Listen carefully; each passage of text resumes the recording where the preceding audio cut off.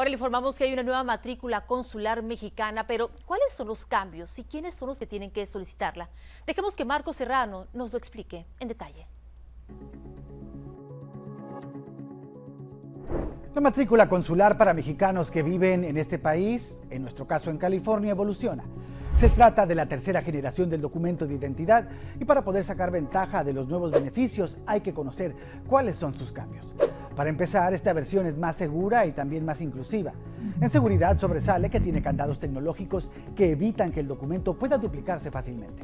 Agrega además protección para los menores, ya que en ella ahora se agregan los datos de la identificación de los padres o de los custodios del niño. Esto ayudará en caso en lo que un desconocido quiera, por ejemplo, llevarse al menor de la escuela o un centro de cuidado. La nueva tarjeta también incorpora datos como la talla, el peso, color de ojo y cabello, así como la clave única de registro de población CURP, pero también cada persona ahora tiene el derecho a declarar o no su género. Autoridades mexicanas dicen que esto se trata de un cambio histórico, asegurando que por primera vez un documento de identificación oficial detalla el género o sexo de las personas.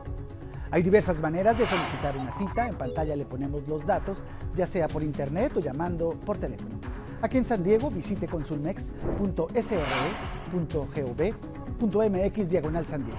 Haga clic en documentos de identidad, seleccione matrícula consular y ahí le explica paso a paso lo que debe de hacer para renovarla o solicitarla por primera vez.